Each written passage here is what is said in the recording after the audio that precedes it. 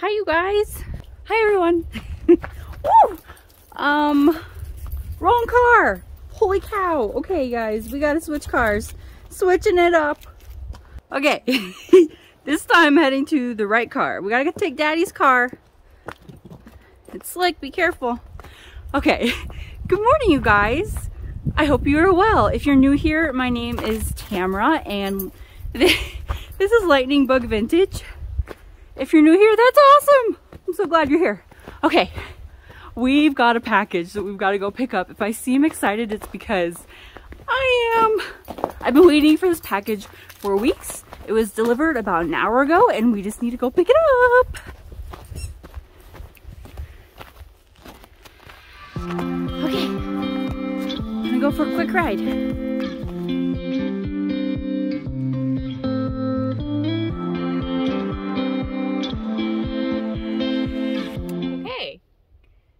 Got the package. Time to open it. I'm so excited. So I ordered this from Jami Ray Vintage. They are one of the very first YouTube channels that I started following. If you're interested in furniture flipping or just reselling things that you thrift, they're an excellent source. Even if you're not interested in those things, they are quite entertaining and they have a wealth of knowledge that they're open to sharing. You can ask them a question about anything involving what they do for their business, you know, and they just are so good at teaching and kind of explaining things. So that's where I ordered this from. And it took a while to come in because they um they made these. Uh you'll it'll make sense in a minute. So they designed them and they cut them out on their um I think it's their CNC machine.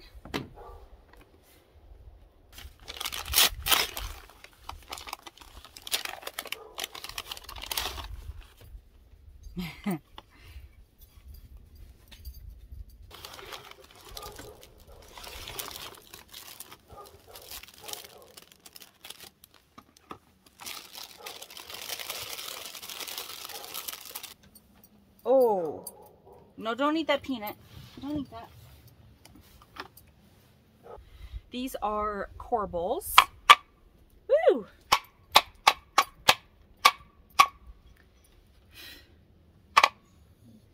Okay.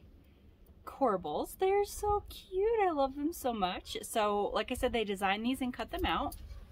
This was their craft kit from January. So it's sold out, but but you can get corbels a lot of different places. And then in the craft kit, you get all the supplies that you need to make the craft. So um, I've never gotten a craft kit before. I've never gotten a craft kit before because usually you have to subscribe, but this time, I don't know when they changed it, but I could do a one-time, a one-time purchase. As I was saying, you get all the supplies you need in their craft kits. So each craft kit is special. None of them are really the same, but this one you get a paintbrush, which is nice. Zibra is a nice company. Um, I actually have this paintbrush, but I could always use extras. So that's that's included in the price of the craft kit. And then um, we've got some clear wax here that we're going to use. And we've got a couple of different um, milk paints. So this one is zinc. And then we've got the color Moody Blue. So Jami from Jami Ray Vintage has a tutorial on painting these corbels. I will be following her tutorial exactly. I will link that video in the description box for you guys. Basically, we're going to paint the dark color, which in our case is zinc. We're going to put a layer of clear wax and then only on the places we want the second color to chip off. And then we're going to put our second color, which in our case is Moody Blue. And so yeah, we're going to work on that together this afternoon. I knew I wanted to bulk these up. I wanted them in this entryway alongside a beam, so I experimented with some scrap 2x4s that I had and realized that they were a little too bulky. So my husband and I went to Home Depot and picked out these nice 1x3 um, pieces of poplar together. We picked it out together and we both felt they were a nice complement to the existing corbels. Essentially, I want to add these 1x3s to the two outside edges of each corbel. So I'm just measuring for that and making sure the pieces I'm going to cut are 3 quarters of an inch longer than the corbels so I have a little bit of overhang. I'm using my miter box for this instead of my circular saw. Um, with narrow little pieces of wood like this, it's just easier for me to get a straight cut with a miter box uh, rather than with my circular saw. I actually have a couple of different miter boxes. This one I'm using was a little more expensive than my other one, but I like it a lot better. Um, the brand is Stanley. The saw is better than my other one and it comes with these two black pegs that help clamp your pieces of wood in place while you're sawing. So I cut four pieces for each corbel and it took me about a couple minutes I'd say for each piece which wasn't too bad. I'm going to attach the two pieces of wood for each corbel together using my pocket hole jig. I've got to say this is my favorite new tool. It's so handy and it's pretty easy to use. If it looks like I know what I'm doing though, it's because I did this all yesterday with my 2x4s that I decided not to use. So I'm setting my depths on everything to 3 quarters of an inch because that's the thickness of my wood. Then I have some one and a quarter inch screws for harder woods already that I own. I wasn't sure on the length of the screw at first, but then I noticed that right on the box it tells you what length of screw is right for the thickness of your wood, so that was super nice.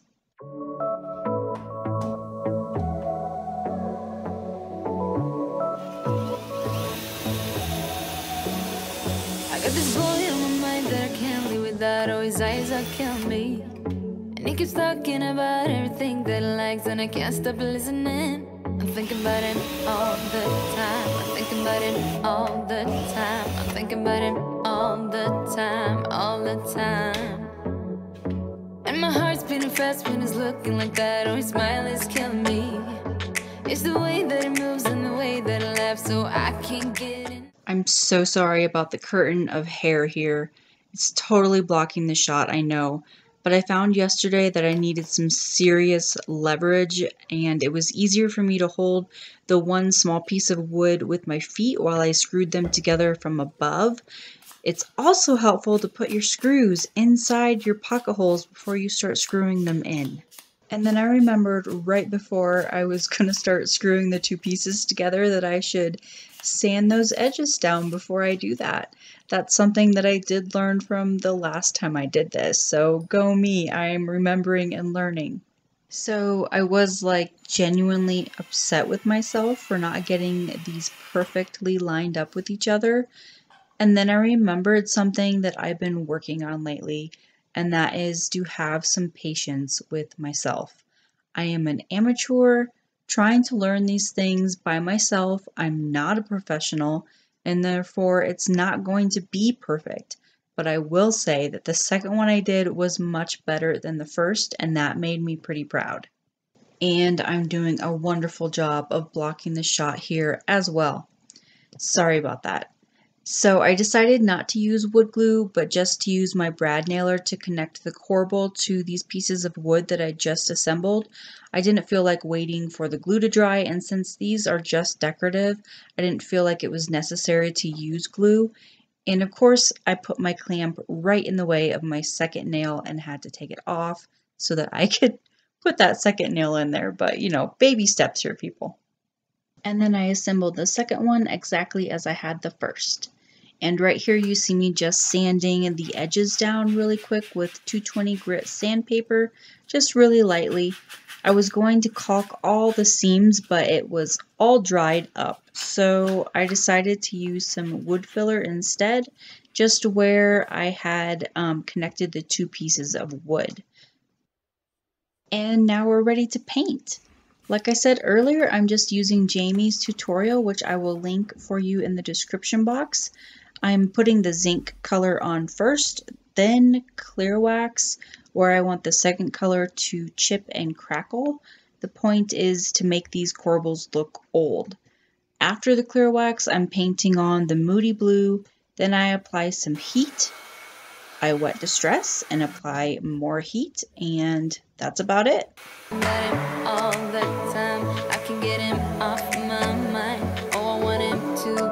I decided to tack these up with my brad nailer because I didn't want them to be permanent just in case later I decide I want to take them down.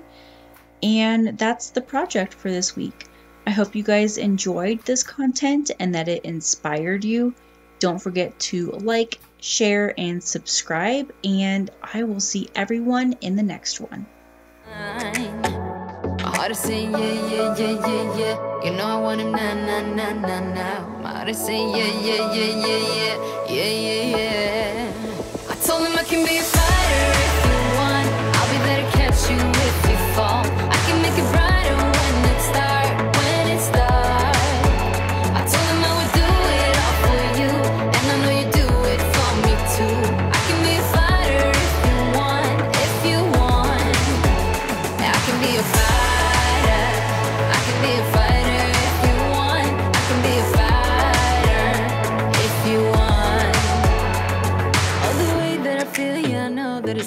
Cause I can get him out of my head. I don't care what we do, everything's feeling new.